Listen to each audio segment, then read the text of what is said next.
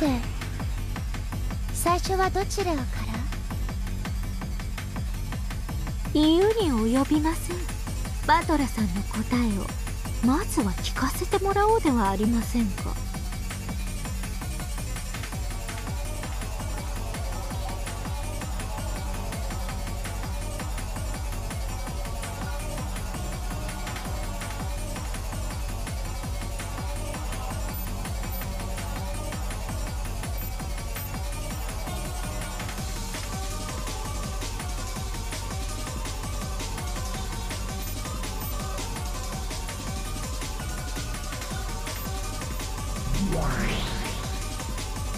しいですか？バドラ卿ああお前風に言うとこいざ来たりグッと。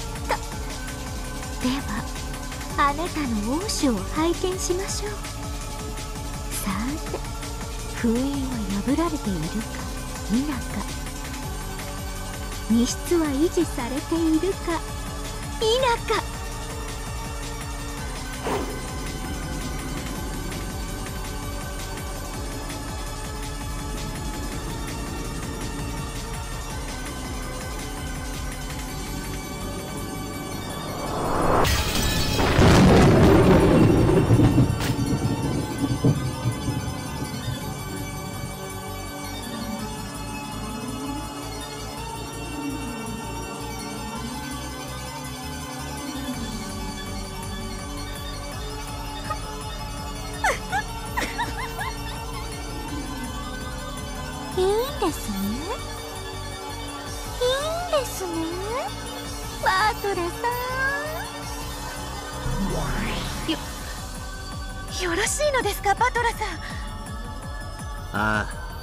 では引けない。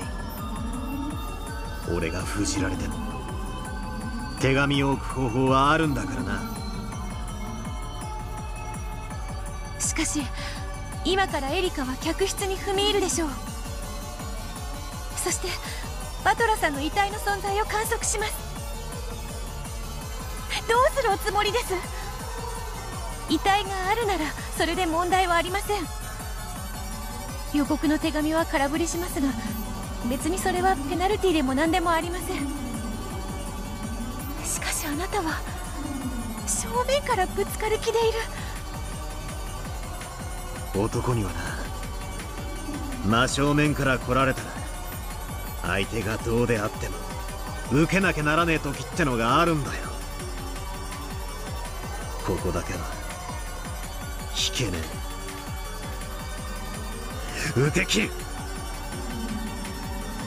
逃れる手なんて後からいくらでもこじつけられる。俺は前回それを金蔵の書斎でやりきっている。大丈夫だ。いける。いける。来い。エリカ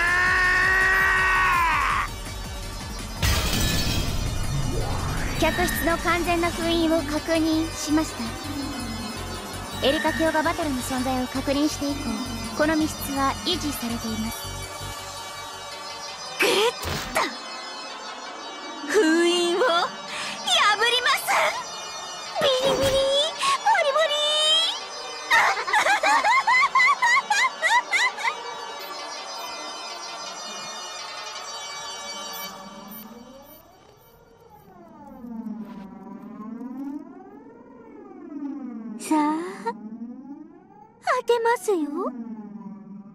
見せてください。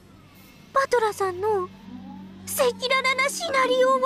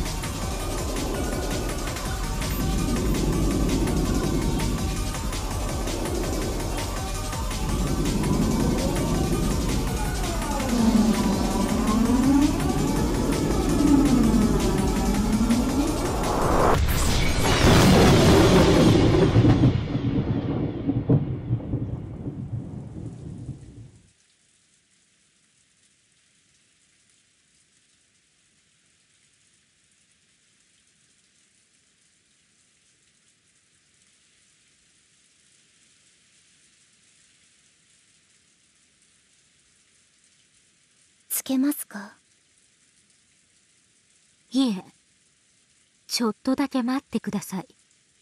バトラさん提案です。聞こう。もうお分かりと思いますが今回の私は犯人は誰かという王道的な勝利を目指していません。私の敵は駒殺しの犯人程度ではなく対戦相手であるあなた自身なのですから。分かってる。狙いはロジックエラーか。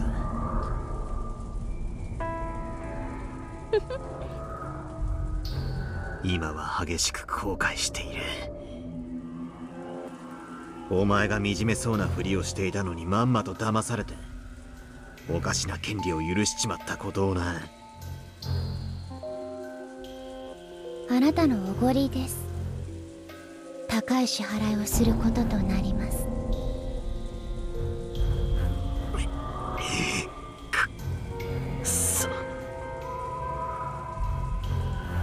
それでそちらの提案とは何ですか？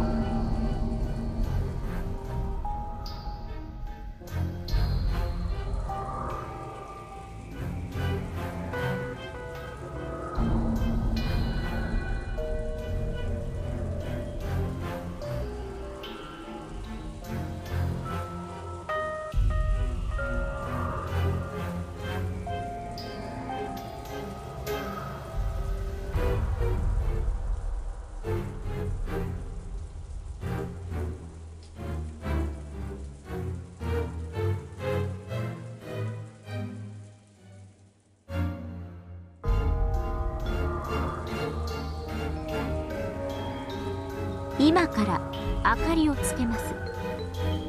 ベッドの上が照らし出され手紙の予告通りにバトラさんが消失しているか否かが決定されるでしょう。いればよし。何もおかしいことはありません。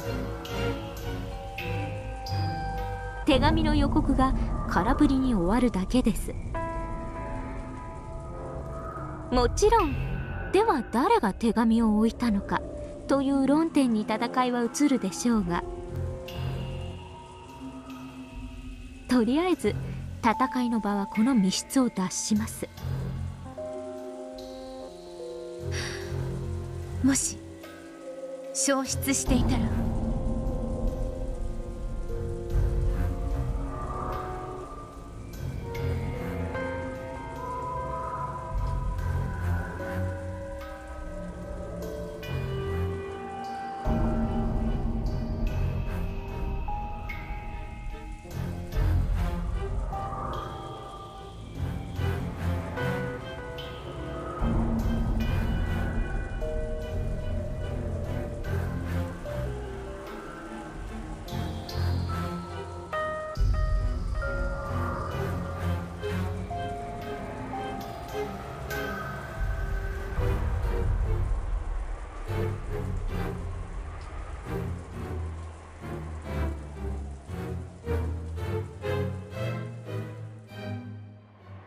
この狭い部屋の中でこれから私たちのエンドゲーム詰勝利が始まります。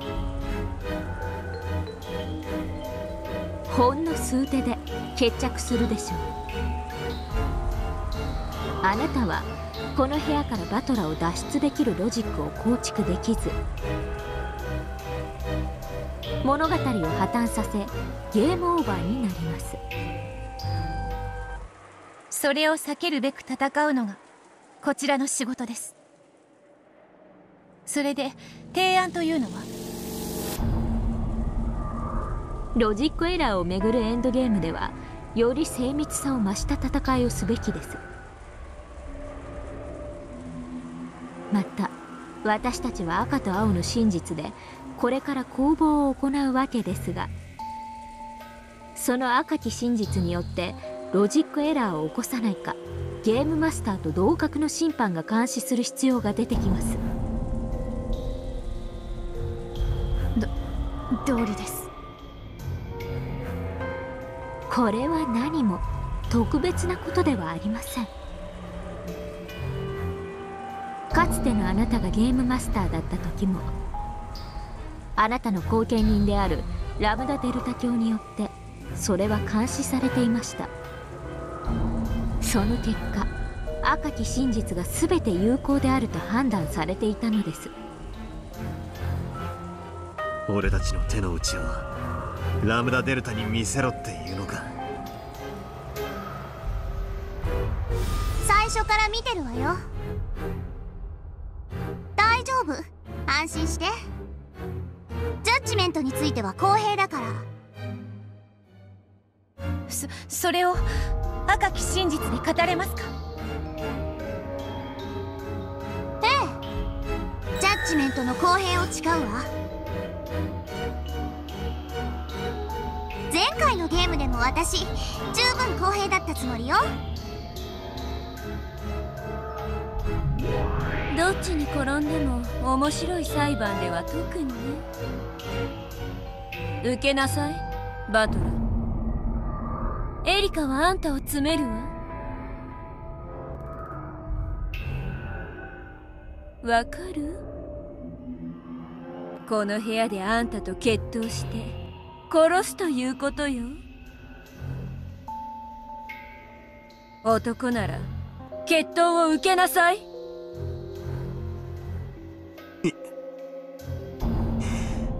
いいだろう。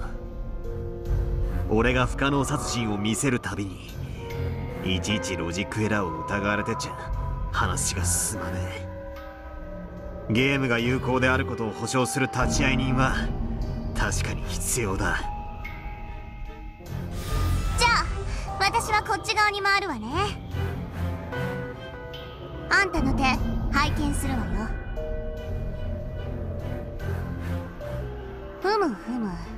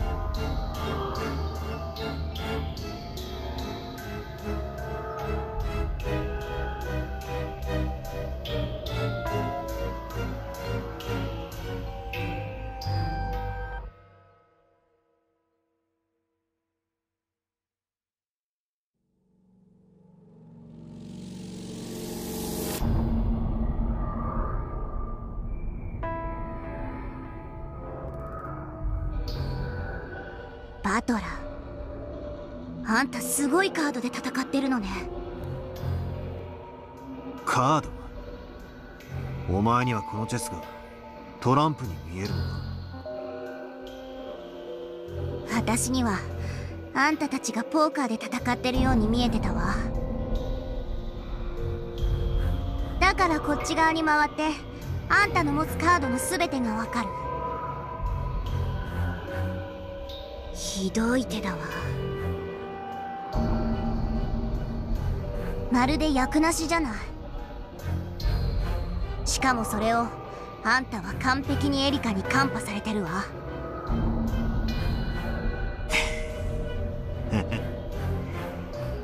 あんたならどうするよ。私は審判よ。助言はしないわ。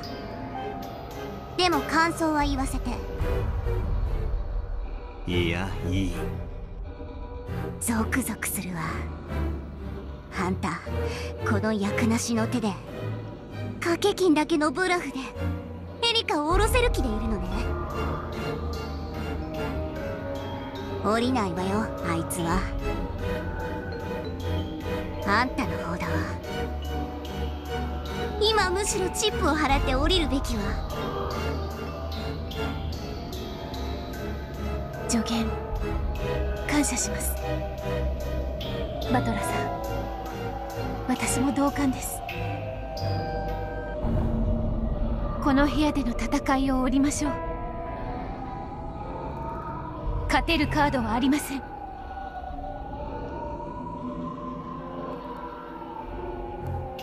カードチェンジでマシな役に化けるのを期待してるの？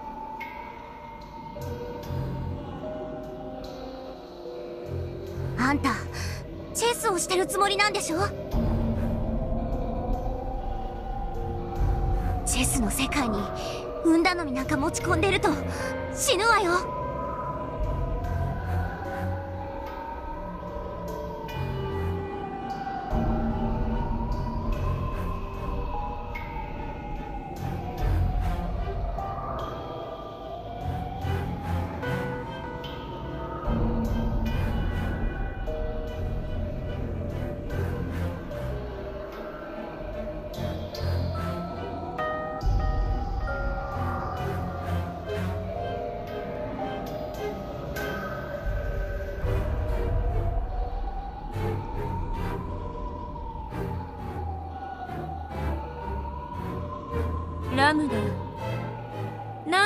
話をしてるのか知らないけどおしゃべりが長すぎるわ。審判は公平でいてくれなきゃ。そうね。じゃあ頑張ってねバトラチェスらしい精密な戦いを期待してるわ。あんたがしてるのはポーカーじゃないんでしょ？覚悟はいいですか？バトラさん。ああいいぜ。いつでも明かりをつけろ。これよりこの部屋での戦いは時間進行を停止して行います。それにより双方の全ての手は同時的であり最初に出された手であろうと後から出された手であろうと同じ意味を持ちます意味が分かりにくいと思いますがこれはロジックを守るためのあなたを保護するルールです。あなたはこれからへりくつの限りを尽くしてこの部屋のトリックの再構築を行うわ。つまり戦いの途中で良いアイデアが思いつく可能性もあるということ。本来筋書きを途中で変更するのはアンフェアな行為それを認めるために後から思いついたロジックであっても後出しではないという同時的な時間停止の世界が必要なのよ。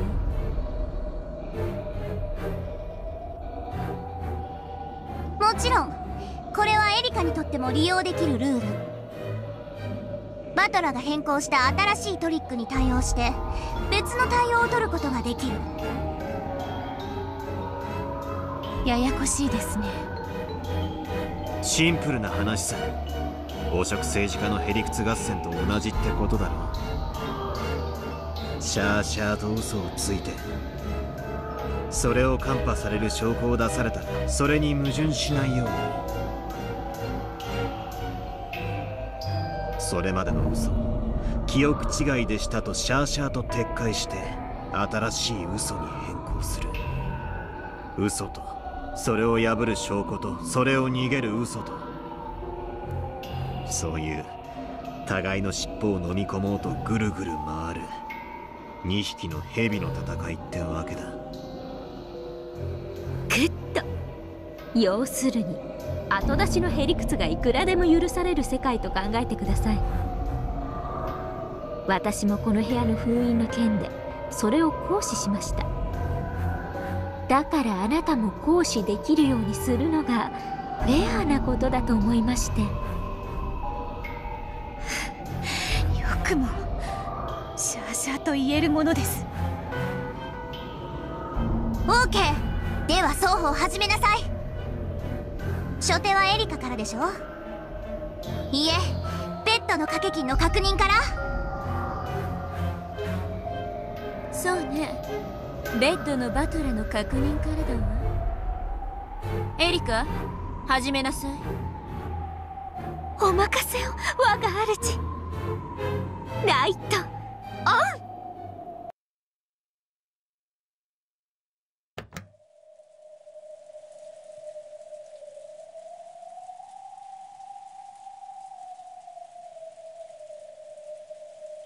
ドラノール。赤で確認を。はい。ベッドの上には。いや俺の手だ。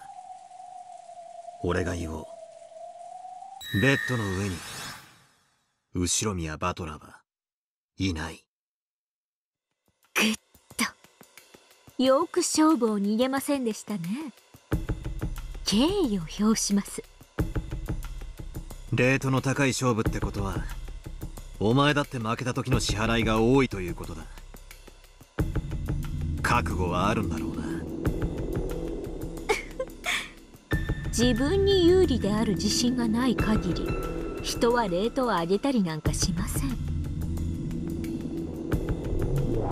ドラノール記録を取りなさい。良いです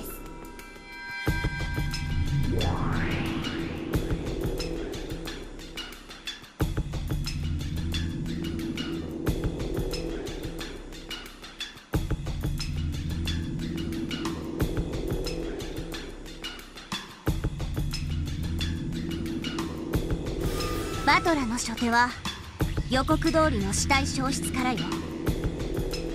次はエリカの手番。どうぞ。後ろ宮バトラが生きていて室内のどこかに隠れている可能性の提示です。これを青き真実で宣言します。無効だ。それを青き真実で語りたいなら具体的な場所を示してもらおう。前回のゲームの金蔵の書斎でベアトがそれをやってドラノールにめった打ちにされてたっけ？仕返しってわけかしら？探し始める前に探さずに使える青き真実を一つ発見不可能な隠し扉 X の可能性。その中に隠れているため私には発見不能。ノックス第三条。秘密の通路の存在を禁ず。だったな客室内にエリカさんに発見不能な隠れ場所は存在しません。ノックス第三条有効ですでは早速捜索を開始しましょう。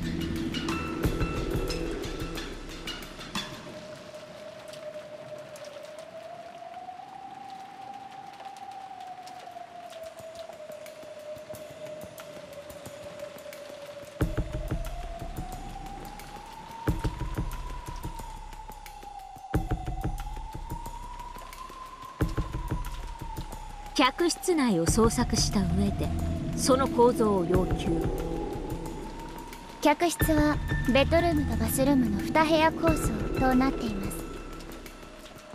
エリカ卿は現在ベッドルーム部分の全てを捜索しました。例外は1箇所のみ。その一箇所は今は保留します。その結果ベッドルーム内に異常は？ありませんでした。例外1箇所を除きベッドルームに誰の姿もありません。例外一箇所とは何だ？いやらしい言い方をせずに公表しろ。伏せたカードは伏せたままだから意味があるんです。必要とあらば開きますのでお楽しみに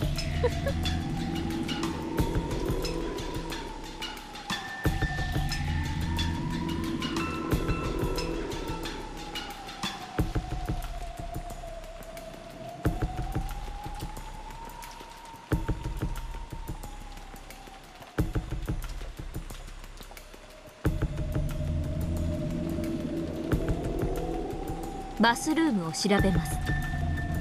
エリカ卿中から水音が聞こえます。わずかに熱気もです。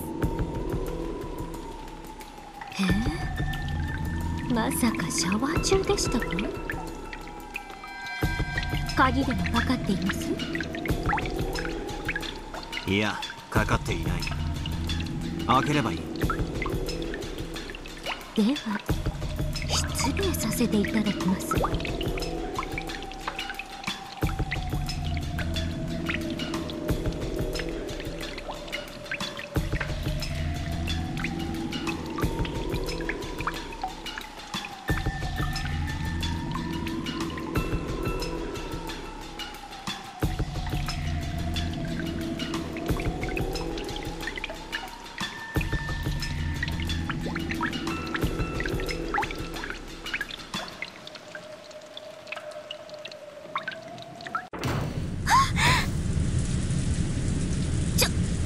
何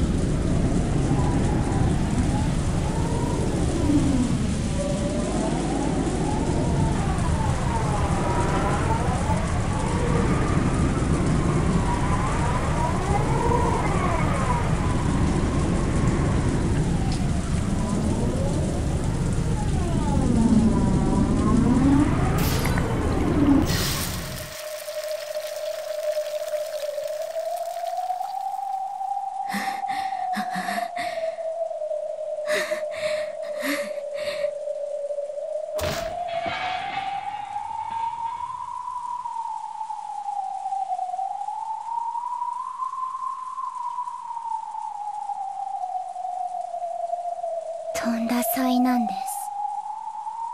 あんたも一風呂どうです？このボディブラシで顔面を洗ってあげますよ。お気持ちだけで結構です。あっそ。そりゃ残念です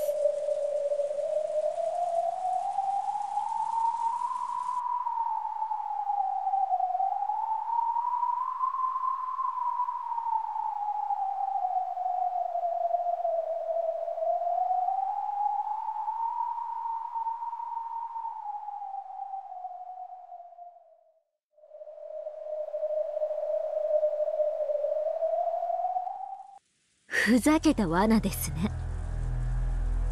しかしこれは剣士時にはなかったものです。よってこの罠の出現により後宮バトラが生きていたことが証明されましたね。まあもとより死んでいるとも思っていませんでしたが。バレているカードを堂々と晒してきたというだけの話です。ではバスルームの中を確認しましょう。バトラの姿は？いいえ。バスルームに誰の姿もありません。グッとこれで私たちは例外一箇所を除いて客室にバトラが存在しないことを確認しました。いい加減にしてくださいその例外一箇所とは一体どこですか？棺桶です。後ろ宮バトラのね。肺は肺に死体は棺桶にです。この部屋で詰めるんだろう。いいぜ。キナ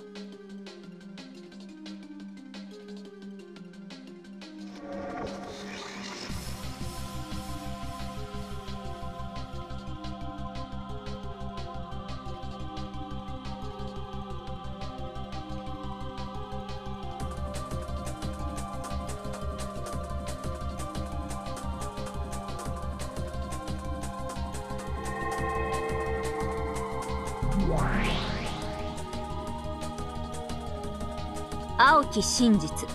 あなたはこの部屋から消失などしていません。姿を隠しあたかも密室から消え去ったかのように錯覚させただけです。隠れた場所は私がまだ調べていない例外1箇所。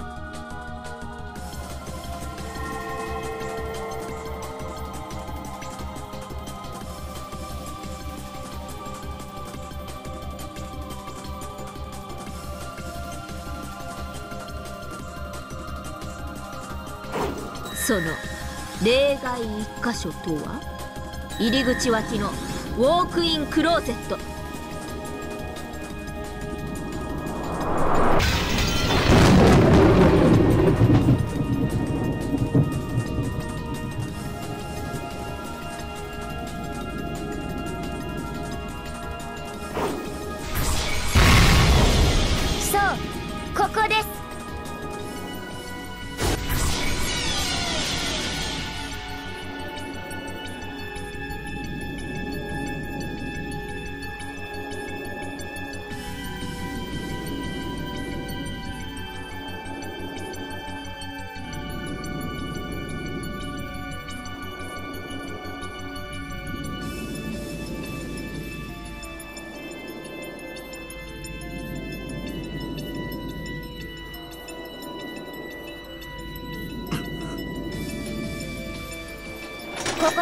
隠れる場所がありません。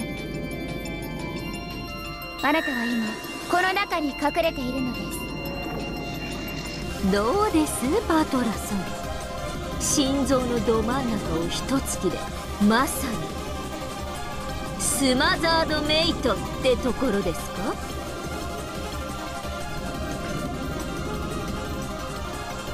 バトラさん。次はこちらの番ですああやはりなそうだろうと思ったぜエリカ。わざと一箇所を残し相手を棺桶に追い詰める。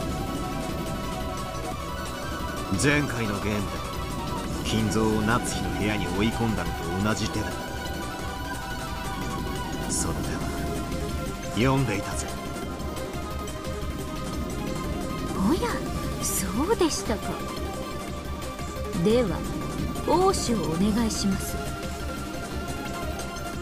しかし予告します。してみろ。あと2手であなたをチェックメイトします。これが予告です。なら俺も同じ予告だ。俺もまたお前をあと2手でチェックメイトする。面白いじゃない。矛盾した予告だわ。嘘つきはどっちになるのかしら。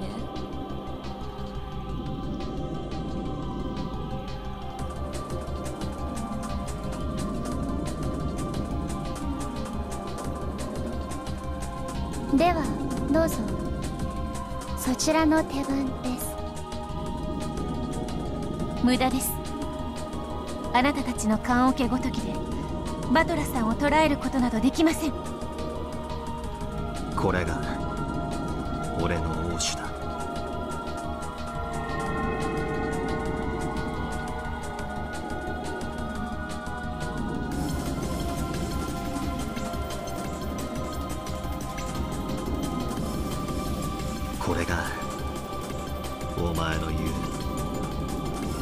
バトラはクローゼットに隠れているへのくらえ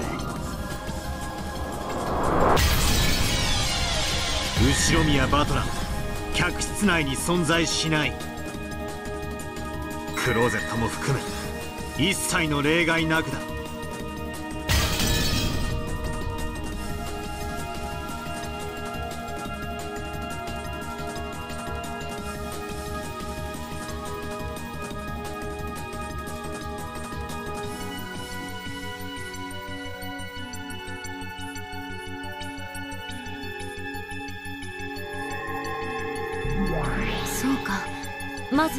ゼットに隠れエリカがシャワーに気を取られてる間にこっそり部屋を抜け出した。前回のゲームで金蔵を書斎から逃した手法と同じだ。観測者の観測をそらし闇に消える。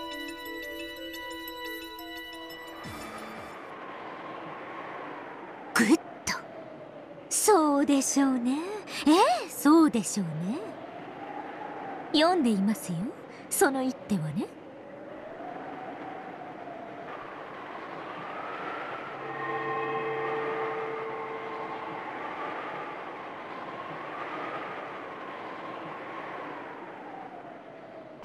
遡り手を宣言します。この部屋に封印を破って入った。一番最初の時点です。あの時私はすぐに扉を閉めチェーンロックをかけ直しこの部屋を封じました。異議申請事件発覚時にゴーダがチェーンを切断したはずだ。チェーンロックが機能しない以上チェーンロックでの封印は不可能だ。異議却下。エリカはチェーンロックを修復したのね？不可能です。真鍮製のチェーンをどうやって修復するというんですか？修復は可能よ。ベアとも忘れたの？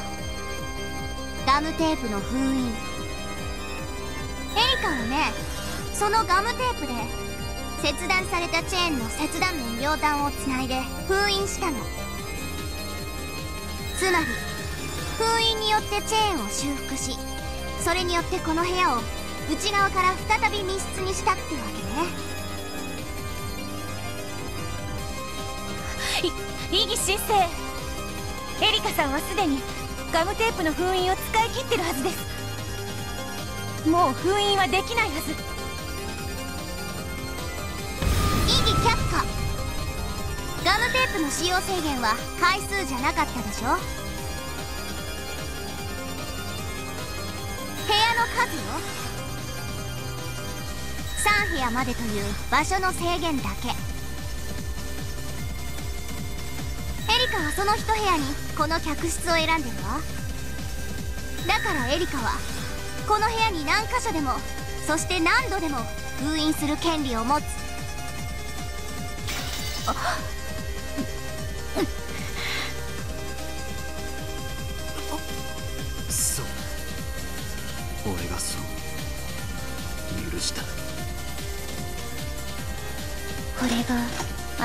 があなたのおごりの代償です。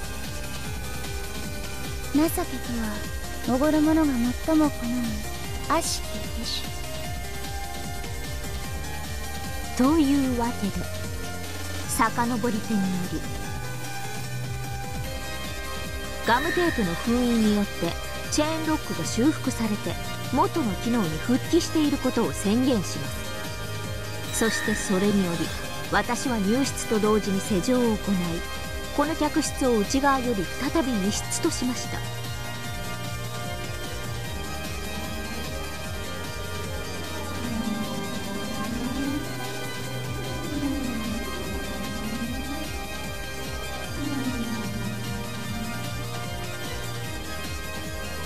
死ねバトラー。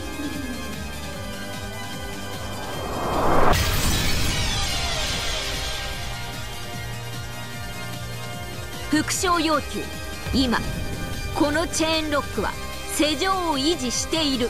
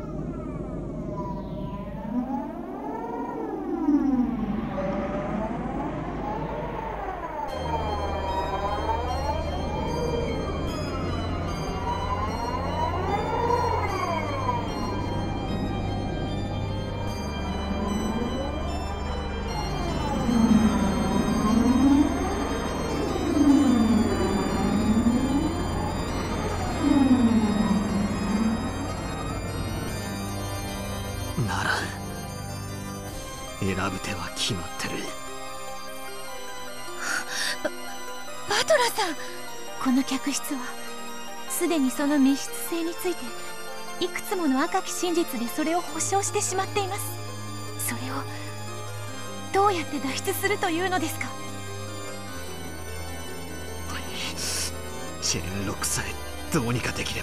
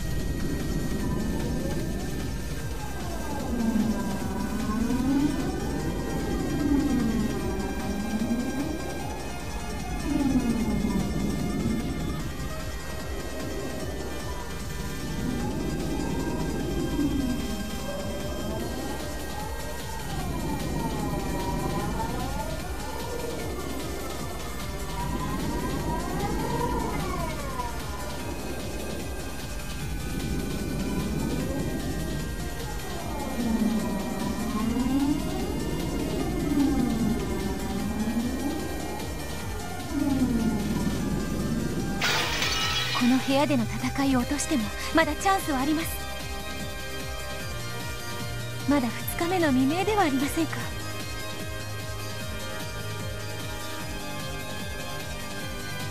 不可能犯罪を再び構築する時間も十分にあります。いやダメだ。もしここで俺が部屋から逃げたことを認めたらそれはもう犯人であることを認めたのと同じだ。この部屋の戦いを降りることはこのゲームの負けを認めるのと同じ。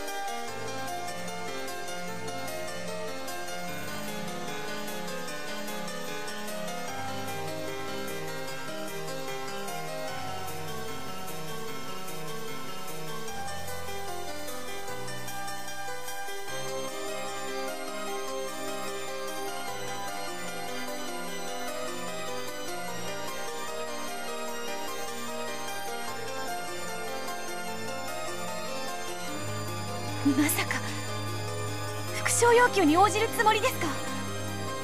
チェーンロックを外さずに脱出できるロジックは終わりなんですか？ないです。答えたら最後ロジックエラーで直ちに敗北です。どちらを選べばいいかは明白。そうだ明白なんだ。どちらの手を選んでも。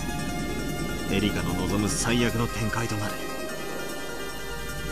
どっちを選んでも最悪な。ら勝った時一番見返りのでかい握手を選ぶべきだ。あんた脱出のロジックもないのに切り札もないのにレイズを受けるの？副賞要求を受けて勝負する気なの？俺の手札は役なしかもしれない。だがな1枚入ればストレートにもフラッシュにも。ロイヤルストレートにだって化ける手札なんだ。降りても乗っても地獄な。ら勝った時奴の息の根を止められる方を選ぶ。狂気の一手だわ。狂人は時に自ら死地に飛び込むから。奇跡を起こす。不可能です。どどうやってチェーンを破らずにこの密室を脱出するんですか？英雄と異常者の差はたった一つよ。勝ったか負けたか。あんたの大勝負拝見させてもらうわ。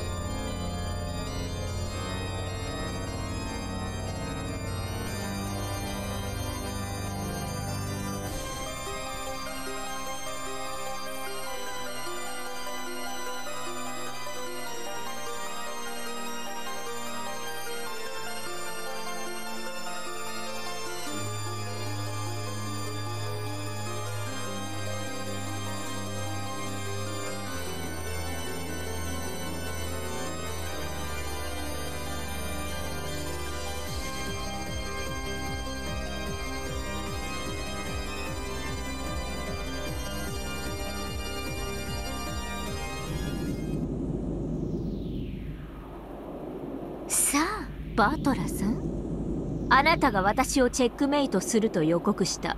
2手目をお願いします。エリカ教の副賞要求にお答えください。応ずるか拒否するか。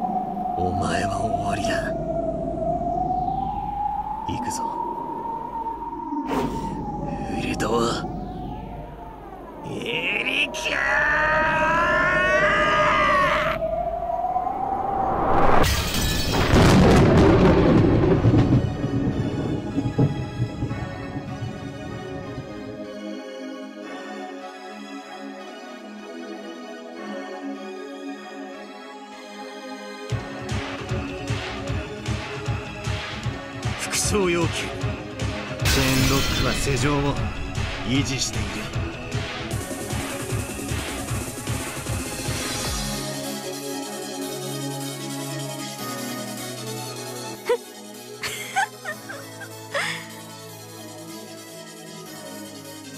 そうですね。ここでチェーンロックは維持したままだと言えたらかっこいいですよね。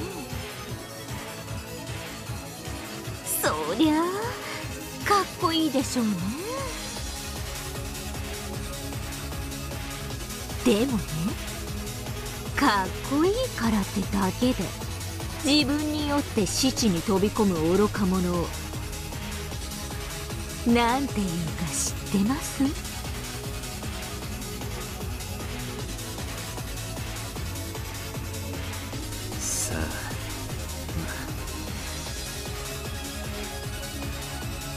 右代宮戦人って言うんですよロジックエラー動議を申請。あんたの今の赤き真実は今。自らのロジックを自ら断ちました。中立審判員は直ちにジャッジメントを行ってください。イラムダ・デルタ教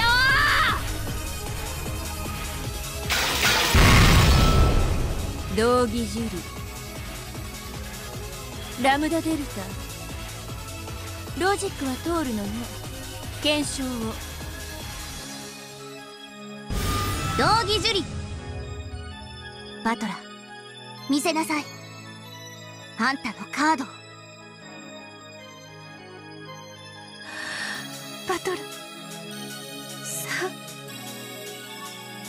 ロイヤル。ストレートなのよね。役なしだったら。ごめんなさいじゃ済まないのよ。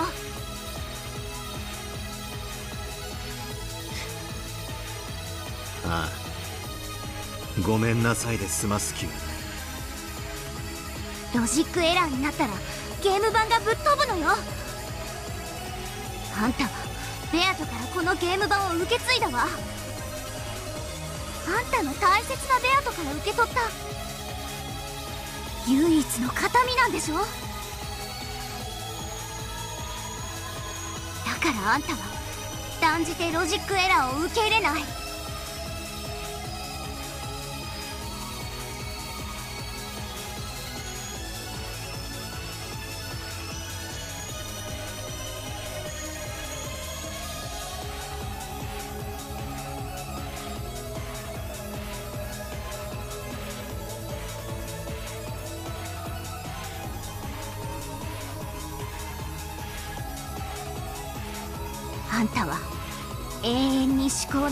落ちて這いずり回ってもロジックエラーを拒否してこの密室から出る方法を永遠に考え続ける地獄に閉じ込められるのよ。いいのね？いいのね？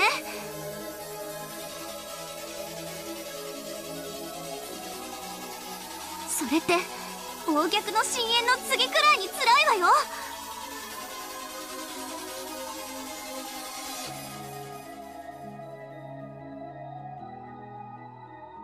10階建てビルの屋上と100階建てビルの屋上から飛び降りる程度の差しかないけれど。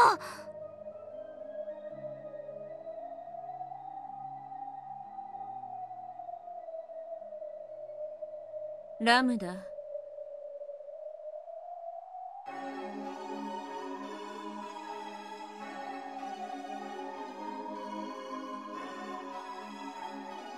バトラはもう手を差し終えた。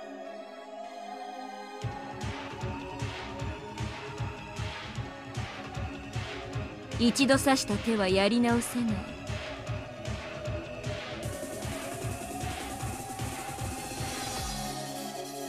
あなたは公正を誓った審判としてさっさと道義に従い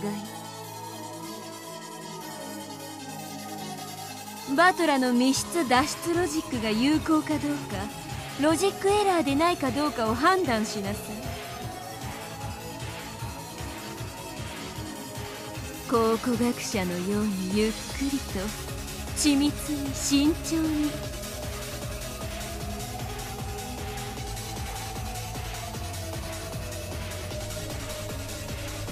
そしてアイスクリーム屋が甘くて香ばしいバニラ醤油味のアイスをディッシャーで力強く手際よくかき取るように素早くね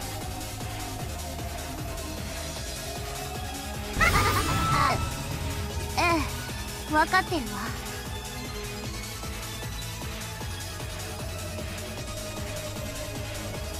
バトラそれでは拝見するわ。バトラさん。ベアト俺が負けると。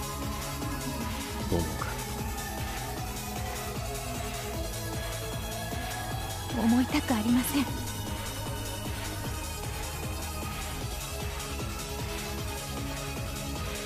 あなたはかつての私と何度も戦い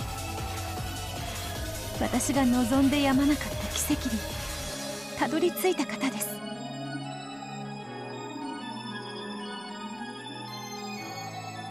だからきっと今回も奇跡を勝ち取ると。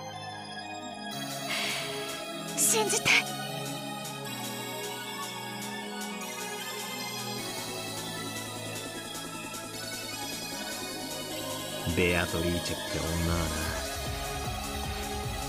そういう理性と狂気のギリギリでずっと戦ってきた。俺に対する怒りと悲しみと言葉で言い表せないいくつもの感情を入り混じらせてそして一番最後のゲームの最後の最後で見事勝ち取ったんだ。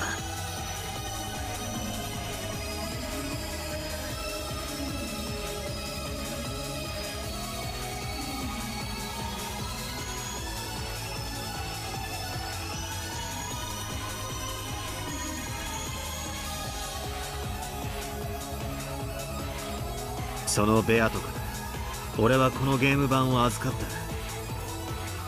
た。だから俺は勝つ。だからお前だけは信じろ。ベアトリーチェ。信じて。奇跡が起こるなら。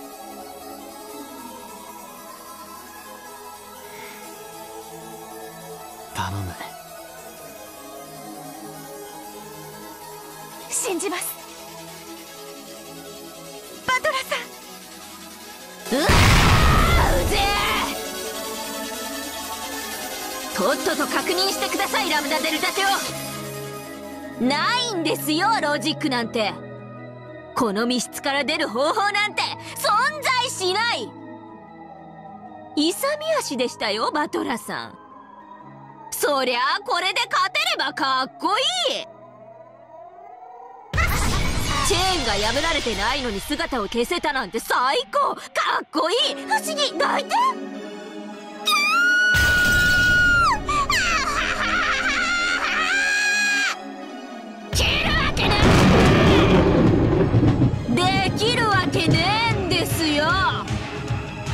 これができたらまさに魔女。この密室から姿を煙のように消せたら認めるしかない。魔女の仕業だって！エリカ卿は静かにラムナデルタ卿の研修中です。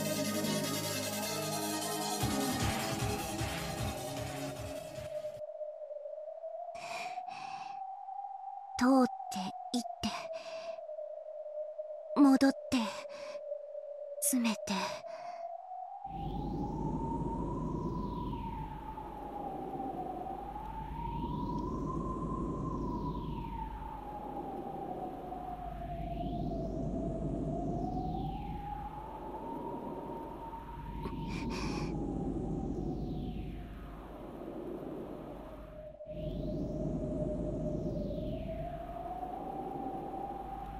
ラムダ。検証を終了したわ。ロジックが通るわけがない。神様どうか。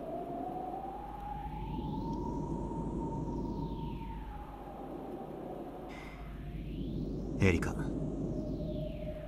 何です？残念だ。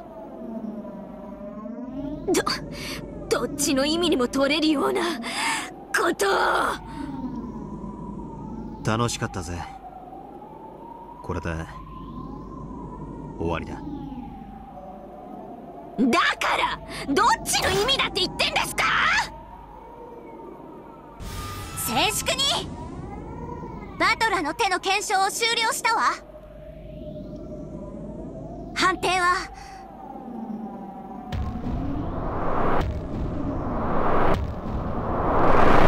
有効。有効？嘘よ。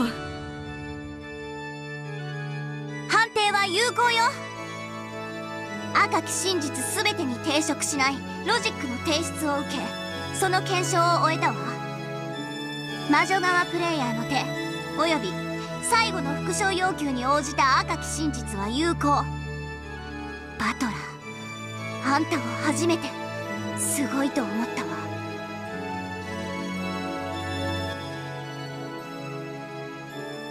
な。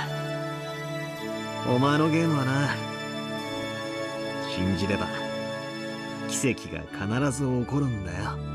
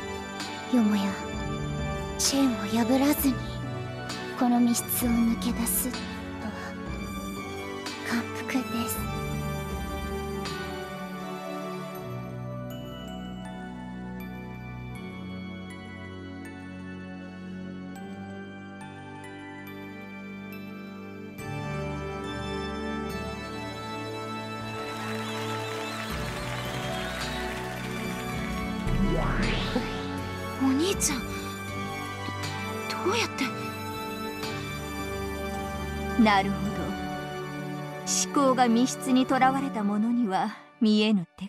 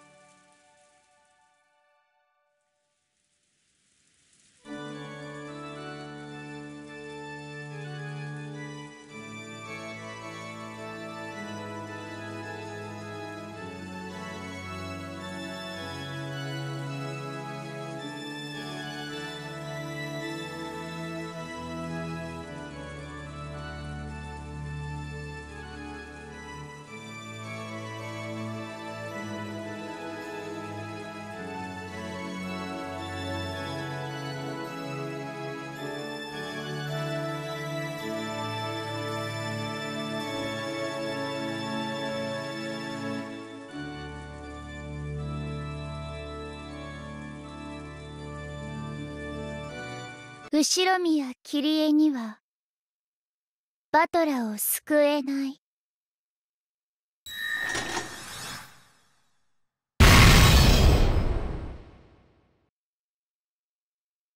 どどういうことよ？後宮桐江にはバトラーを救えません。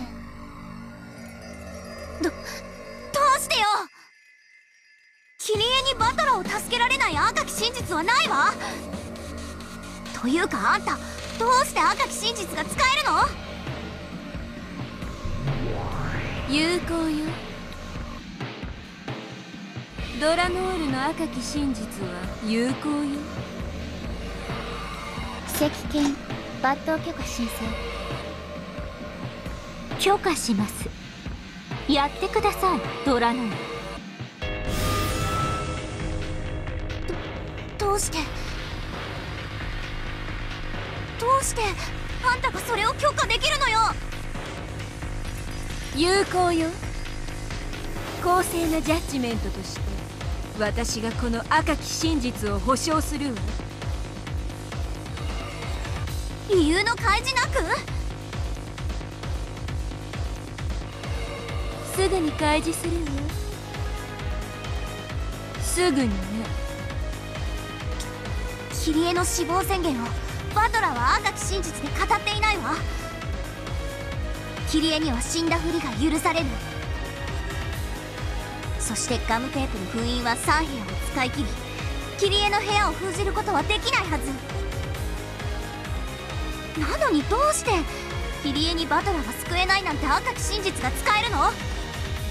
赤き真実の根拠がないわ。根拠はすぐに教えるわさあそれよりラムダキリエではロジックを通せなくなったわバトラと入れ替わる他の駒にロジックを差し替えなさい。ええ。バトラを助けられる駒はまだいるんだから。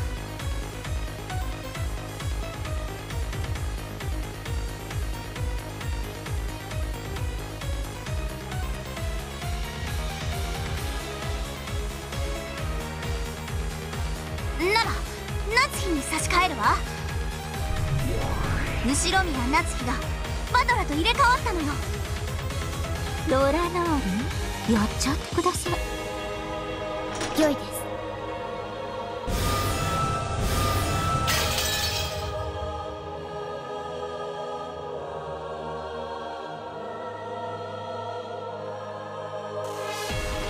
後宮夏日にはバトラを救えません。じゃあエヴァ。後ろ宮エヴァ後ろ宮エヴァにはバトラを救えません。じゃあローザマリア。無駄です。ローザにもマリアにも救えないのです。ですですですですです。ですですですです。ですです代打です。選択中です。グレードイコレザーイズ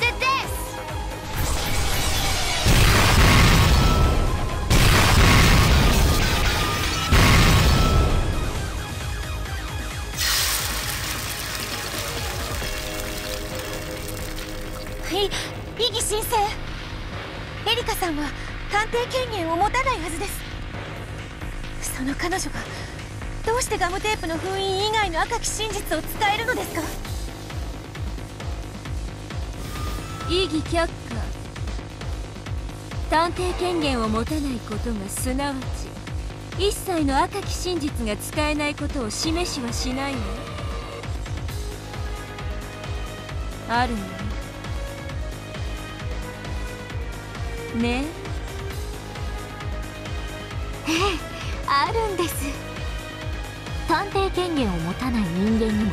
ている。いくつかの例外的な赤き真実が。バカな。そんなものあるわけがない。はい。ありはしません。しかし探偵権限を持たない人間にだけ許されたある行為は魔女によって容易に赤き真実に消化できるほどの圧倒的信頼性を持った真実となり得るのです。探偵以外の人間に許された。ある行為。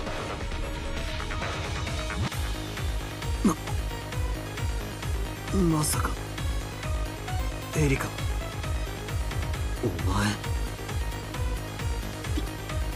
ピーンときたわ。なるほどね私の想像が当たっているならそれは有効だわ。赤き真実。わわかりません。探偵権限がないことによって許される力なんてあるんですか？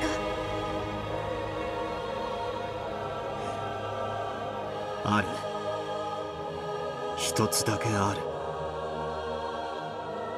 る。ようやく気づかれましたかそうです。私はその力を得るためだけに今回探偵権限を放棄したのですあなたは気が向いたらいつでも探偵宣言をしていいと言ってくれましたね。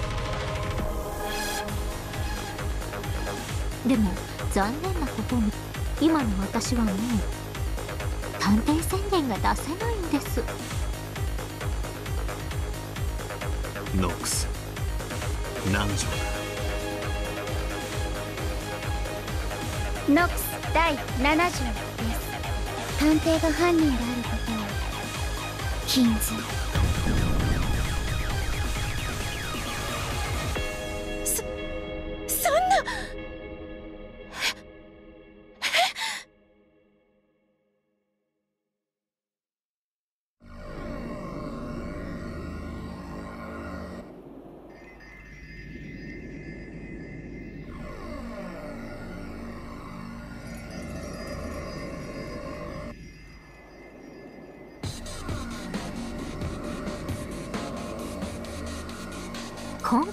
ゲームでは探偵権限のない人間には完全な検視はできない。だから死者は全員死んだふりでそれで自在に歩き回って数々のトリックを行っている。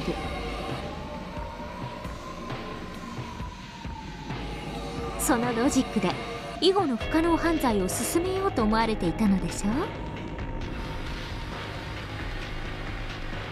私が探偵宣言をしないと言い出した時あなたは内心これで勝ったと思ったはずです。あなたも狡猾ですね。ガムテープの封印を与え一見慈悲を与えたように見せましたがそれは第一の番の犠牲者6人が全員生きていて結託して以後の犯行を行える手はずを整えてあったからです。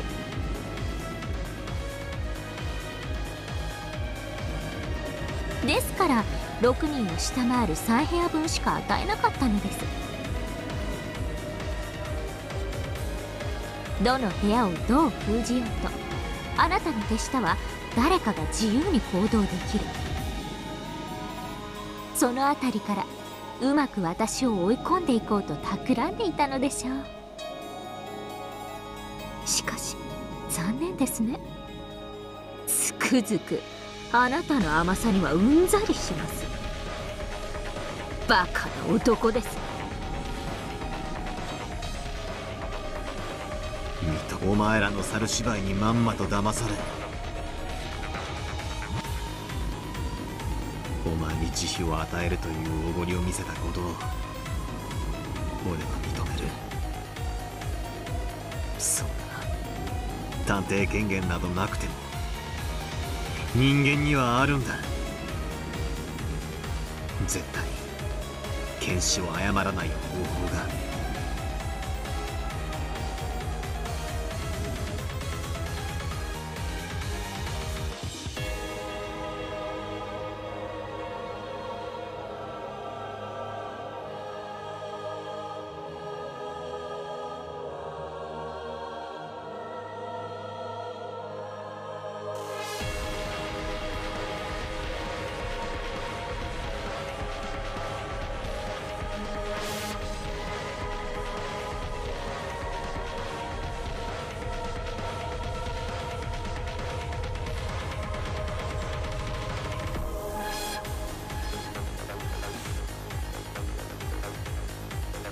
す。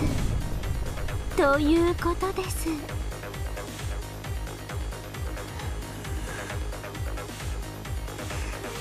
エリ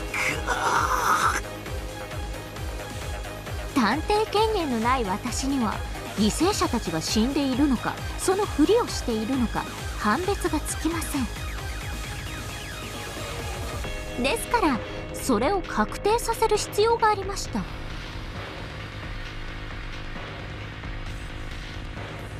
そしてそれはできることなら。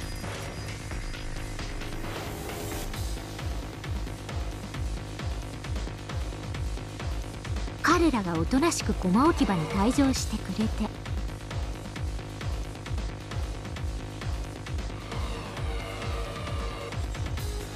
以後のゲームをおかしな形でかき回さないでくれることが望ましいのです。から私は慌ただしい屋敷内を駆け巡り全ての現場を訪れ全員をしっかりと殺し直したのです。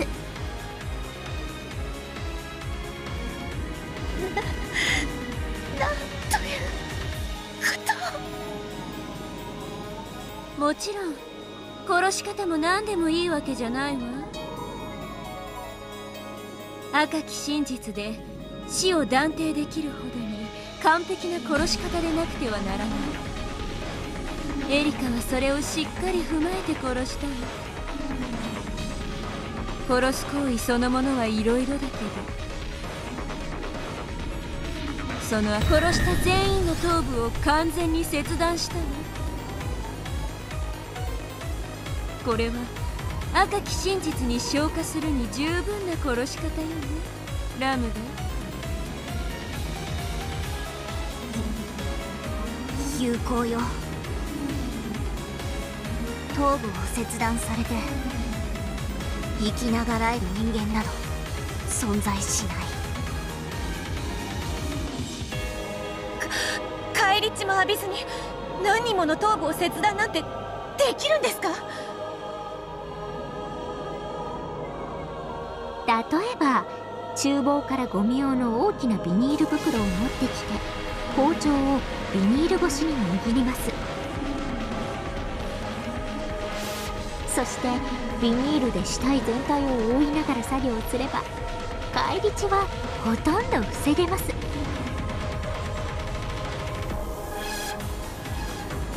もちろん包丁もビニールも人数分用意し現場にそのまま捨てていきました。下手に持ち歩いて血ボタを廊下に走らせたり自分の服を汚したりなんて無様な真似は一切しません。現場には私の指紋のついたビニールなどが残されているでしょうが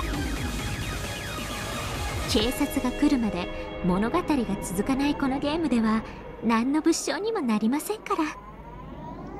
捨てていって何の問題にもならない。ふざけるな。そんなの。ミステリーで。許されると思ってんのか？それをファンタジー側の魔女に言われるとは心外です。ご安心を。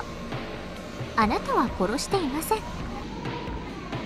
時間の都合で最後に発見されたバトルさんだけ切断の時間が取れなかったのです。ですのでいただいたガムテープで部屋ごと封印させてもらったわけです。い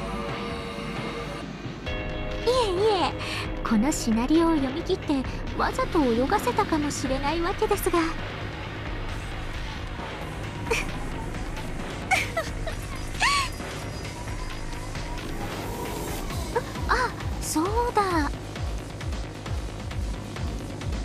したと赤で言えるついでにもう一つ赤で言えることがありました。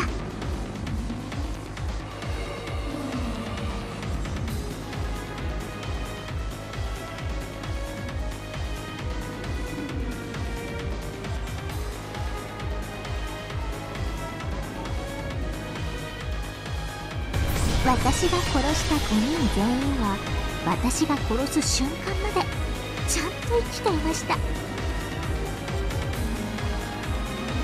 皆さん律儀に殺される直前の瞬間まで頑張って死んだふりをしていましたよ。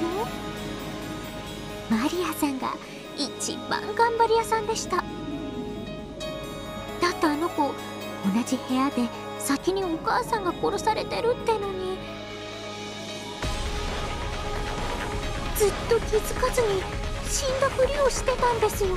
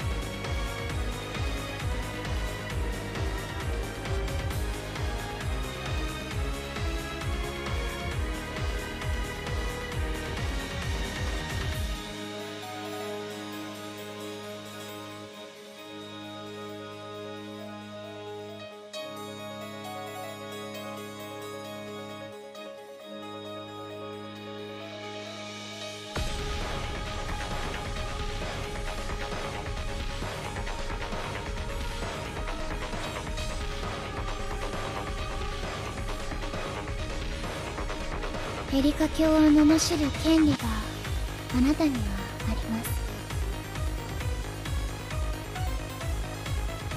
す。しかし今はそれによって矛盾の生じたロジックを新しく再提示する義務があります。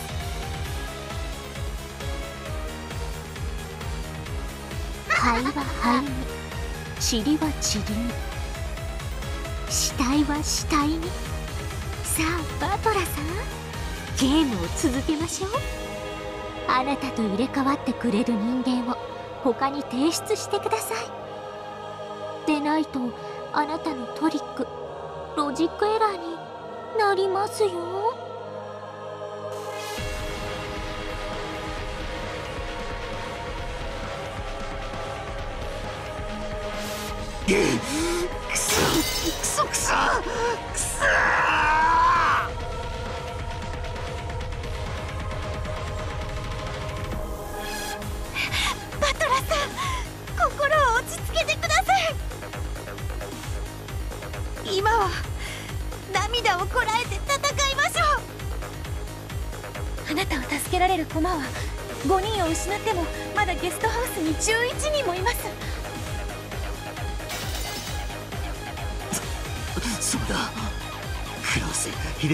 ルドルフ。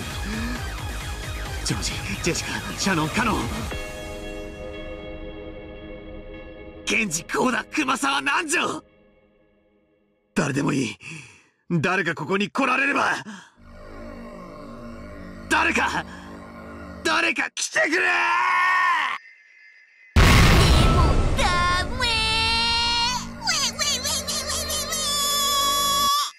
これを？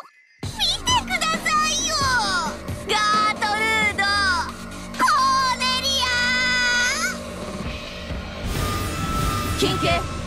慎んで出頭するものなりや。アワトラさん。これを。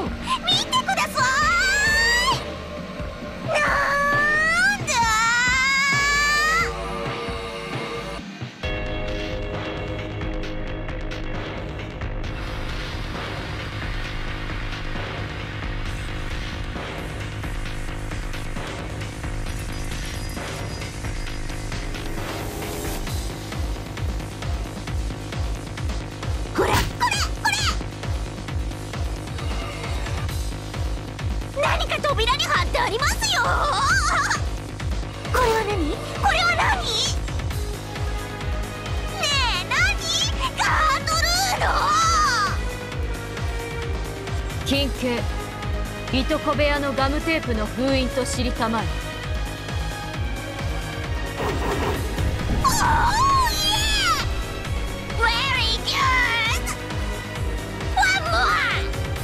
こっちの扉の隣部屋のガムテープの封印と知りたてまつれ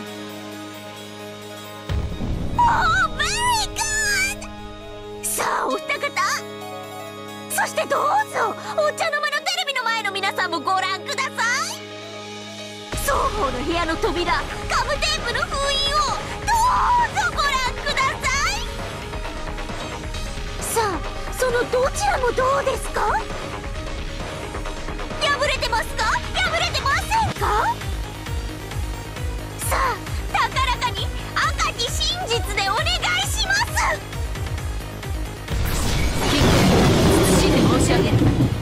ちらも破られていないものと知りたまえ。破られていない封印とはすなわち未だ何者の出入りも拒みたることの証と知りたまえ。封印を破らずしての出入り改めて言うに及ばず不可能と知りたてまつれ。グッドです。バトラーご覧の通りですあなたを助けに来ることができる人間はもはや存在しないのです。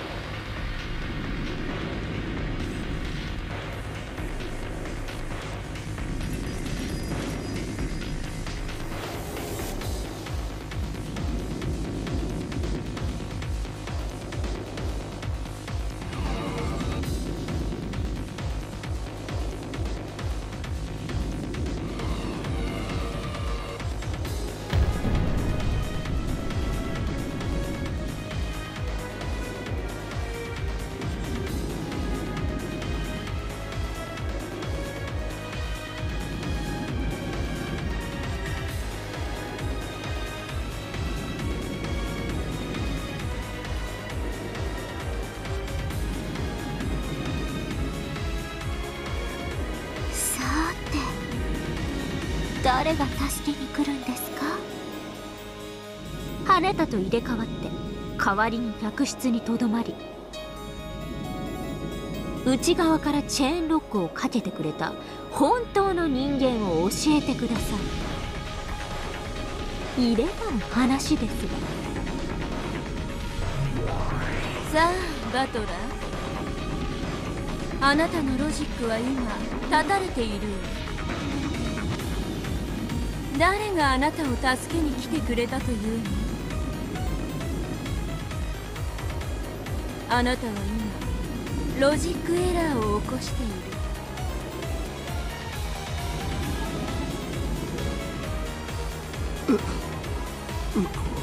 待て。今それを考えて。るバトラには2つの権利と1つの義務があるわ1つの権利は新しいロジックを構築してあなたの密室脱出トリックを再び完成させること。もう一つの権利はロジックエラーを潔く認めること。そして一つの義務はそのどちらかを必ず選ばなければならないことよ。慈悲はあるよ。それを選択することに対し課せられる時間制限がないそうよ。それこそ無限に永遠にあるのだから。きっとまだ方法が何か言い逃れのようなへりくつのような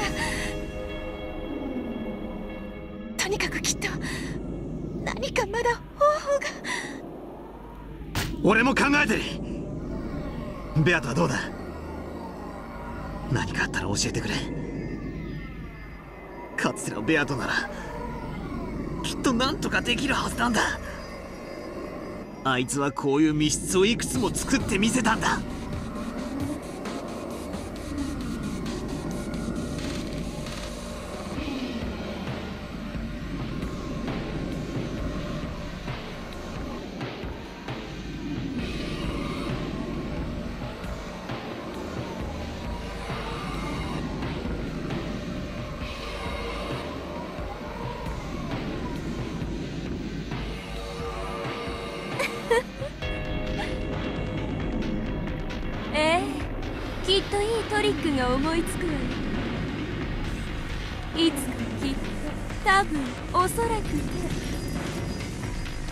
だと思うけど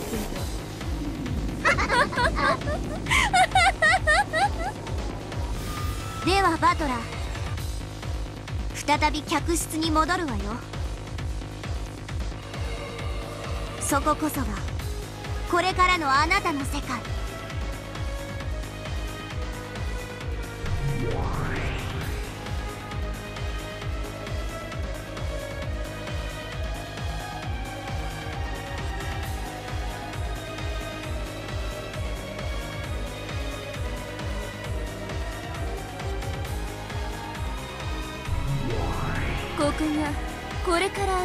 過ごす部屋よ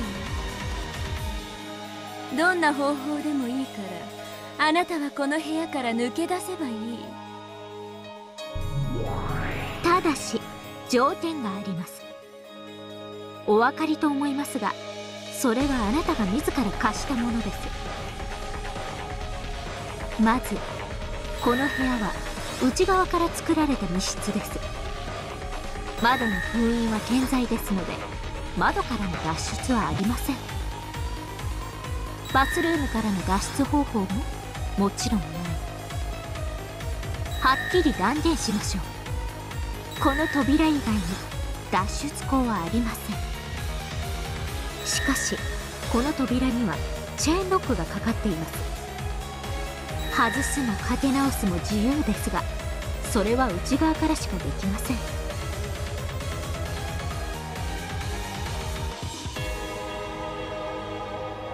そして扉から出ることさえ自由ですがチェーンロックがかかっていない状態での退出は脱出とはなりえません。あなたはチェーンロックを維持したままこの部屋から脱出してみせなくてはならない。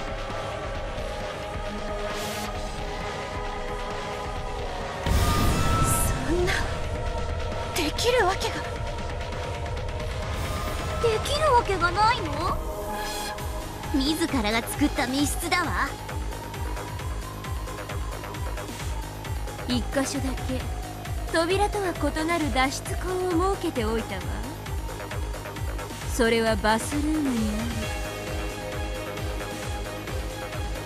あるどうしてもバトラさんが脱出するトリックが思いつかない時のための慈悲深い我が主による救済です。涼しいんで聞きなさい。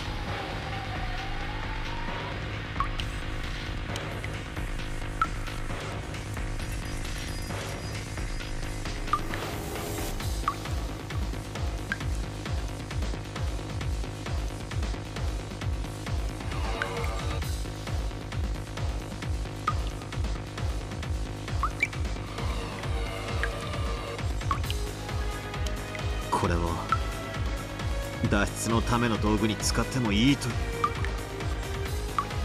ええどうぞ。プレゼントするわ。ただし何を使おうとも部屋の外から施錠はできない。封印もごまかせないけれどね。この道具はチェーンロックをごまかすためにあるんじゃないわ。もっと直接的に。あなたをこの部屋から脱出させるためにあるのよ。どうやって使え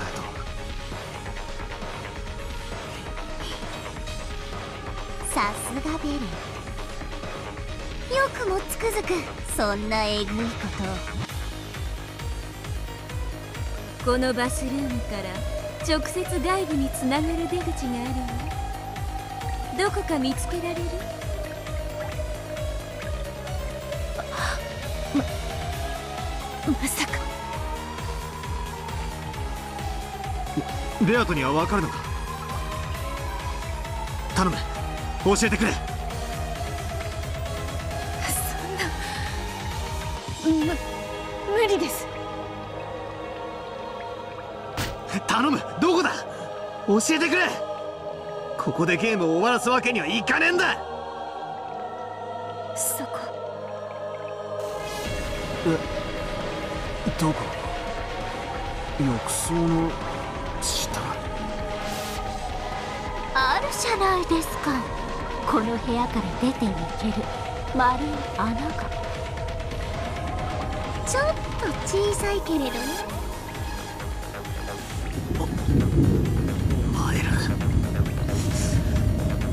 マイラ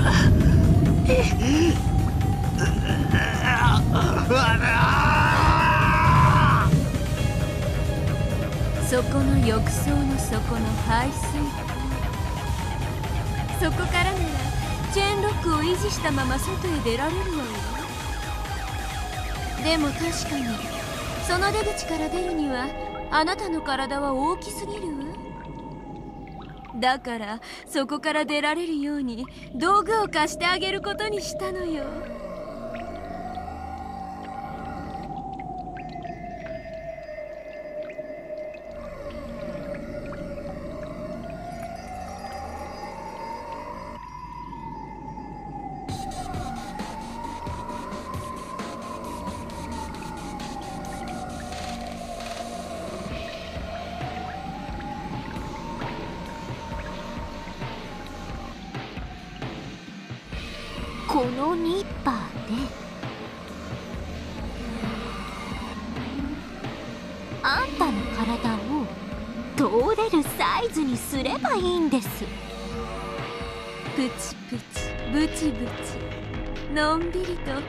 風呂の中で温かなシャワーでも浴びながら自分の体を足の指あたりから少しずつちぎっては流しちぎっては流しそれを繰り返せばあら不思議。あなたはいつの間にか密室を脱出しているあら不思議ですね我が主それって兄弟揃って同じ末路ですね。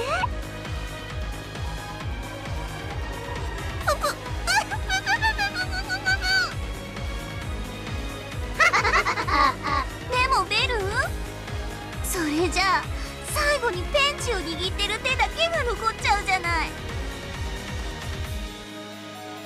そこで今度は針金の出番なのよあらかじめバトラは手首を針金で縛ってその針金の先端を扉の隙間から廊下へ伸ばしておきなさい。手首くらいならチェーンロックの隙間からもきっと出られるよ。そこまで小さくできたら私が廊下から針金を引っ張ってあなたをそこから救い出してあげるわ。我が主引っ張ったらそれださい。バトラの手首。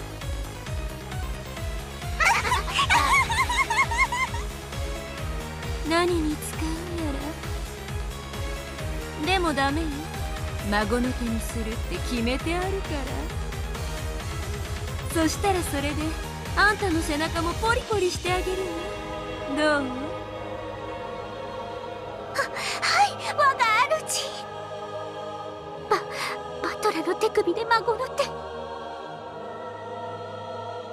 主に背中ポリポリほほ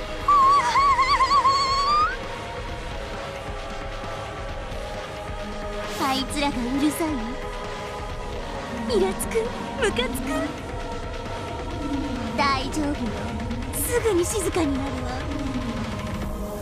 あなたの思考を乱す一切のノイズはこれよりあなたがこの部屋を脱出できるまで。なくなるわ。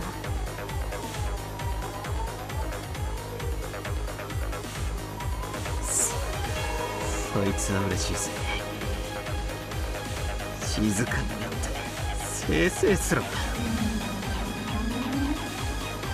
これは地獄の生還者からの忠告よ。この賑やかさをよく楽しんでおきなさいあんたをムカつかせる悪行雑言さえ。永遠の静寂の中では正気を保つ温かな思い出になりうるんだから。ベルンやエリカが憎い。ならばそれはベルンたちの選別よ。憎しみがある限りあなたは諦めずに済む。諦めるってのはねここでは意味が違うのよ。諦めてなお出られぬ地獄が永遠であることを今のうちから覚悟なさい。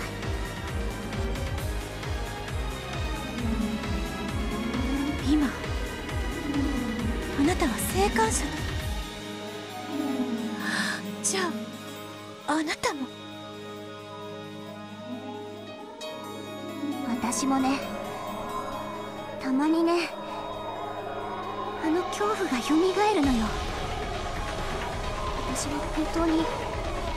地獄を抜けられたのかしらって。実は私の心がとっくにおかしくなっていてあの地獄の中に未だいながらここにこうしていて楽しくあんたたちと話をしているという妄想を見ているだけなのかもしれないと未だに悪夢に怯えさせられるの。だから私はれが夢でないと永遠に感じ続けていなきゃならないの。ねえあんたたちは本当に現実？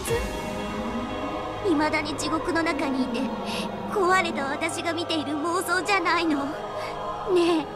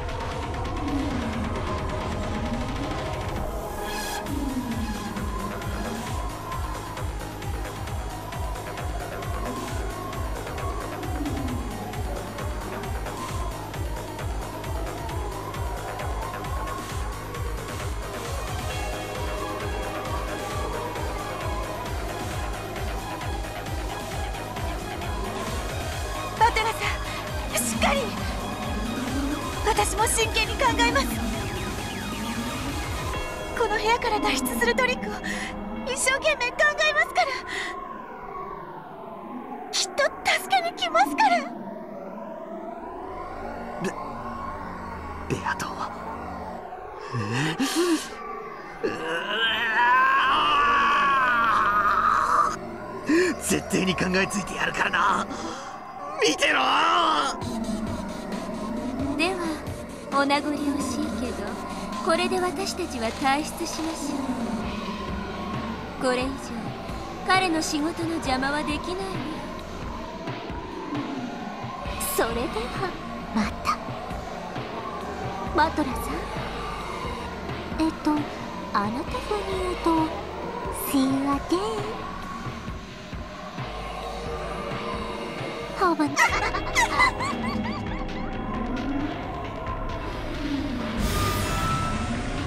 じゃあねバトラしっかりねバトラさん絶対諦めないで。必ずトリックは思いつきますから。私も考えて必ず助けに来ますから。ベアト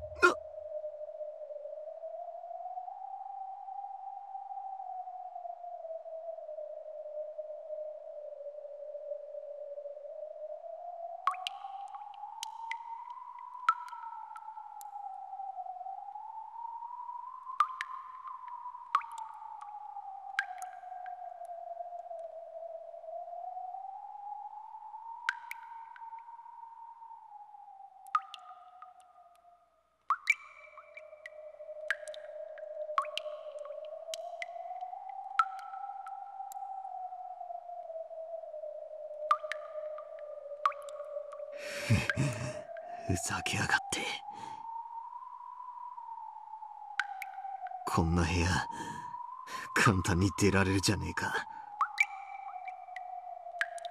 いいか。部屋ってのはな出たり入ったりができるようになってるんだぜ。それができなかったら部屋とは言わねえんだよ。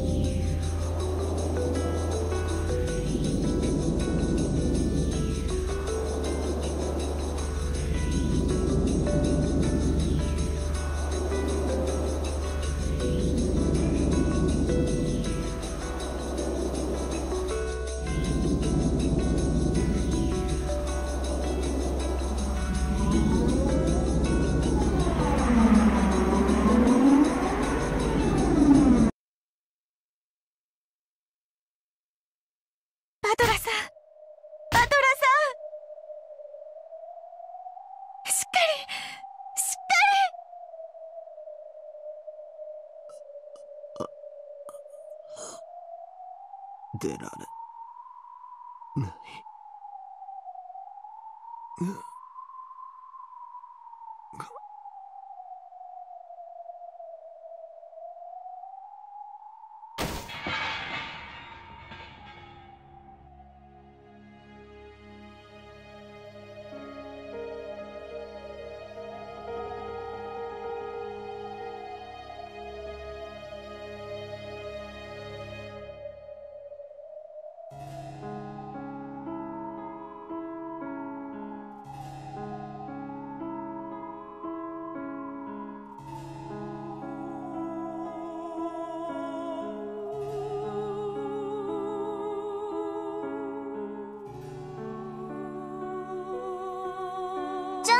も行くわ。ごきげんよう二人とも。ごごきげんようじゃありません。すぐにすぐにトリックを思いついてゲームを再開しますから。お時間は取らせません。だからまだとどまっていてください。お願いです。同じ言葉を私たちは何人もの魔女に言わせてきたわ。そうして本当にゲームを再開できた魔女は幾人と知らない。私が知る限りそれは私とベルンだけよ。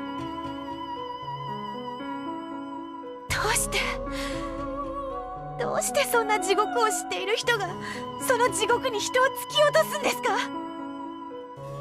退屈だから。それだけのために。ええそうよ。退屈から逃げるためよ。退屈になるとね思い出すからよ。あの地獄を。そしてね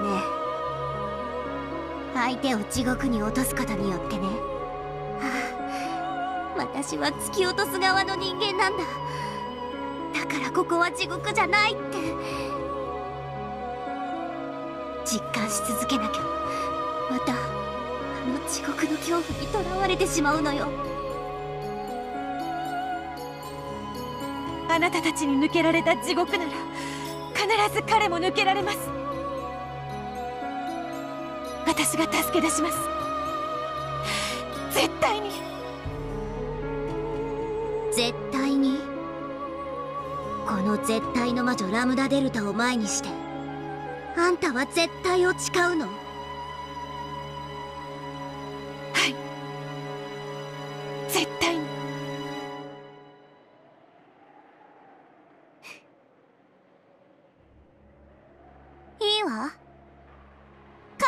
あんたの後見人は私だもの。今のあんたは異なるとはいえ最後に一つだけ世話を焼いてあげるわ。置き土産をあげる。それは何ですか？希望よ。あんたが絶対を捨てない限り必ず叶うという希望よ。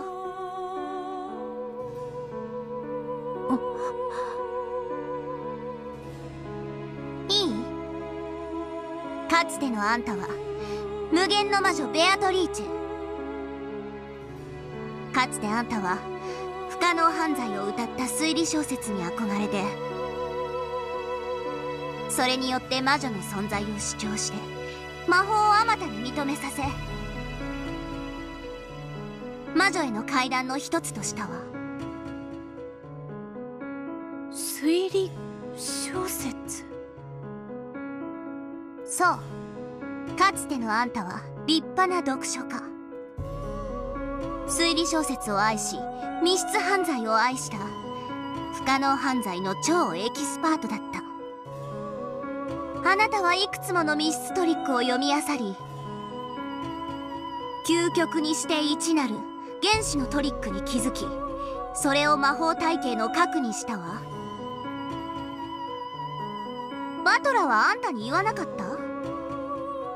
かつてのあんただったらきっとこの窮地でもトリックを思いつくって。私がそれを認めるわ。絶対の魔女ラムダデルタの名で保証する。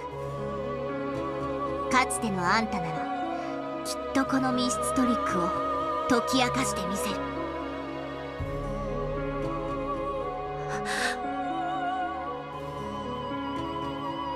それが私からあんたへの置き土産よ。じゃあね。あんたはこの絶対の魔女に対し絶対と誓ったわ。